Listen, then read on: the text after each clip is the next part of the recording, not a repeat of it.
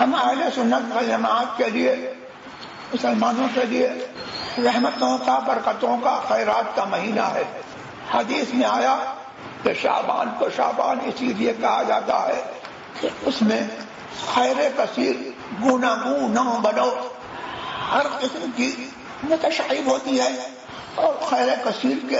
مختلف شعبے رونما ہوتے ہیں۔ مسلمانوں کو چاہیے کہ اس ماہ مبارک کا استقبال خیرات سے، صدقات سے،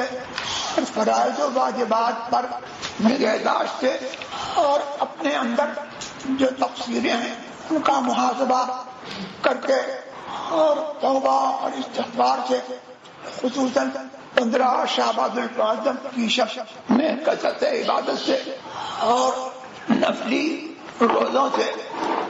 اپنے نفس کو ماہ رمضان کے روزوں کے لیے تیاری تیار کریں اور جس قدر ہو سکے قید واجبات کی ادائیگی کے بعد خیرات اور صدقات اور نفلی عبادات سے اس مہینے کا استقبال کریں۔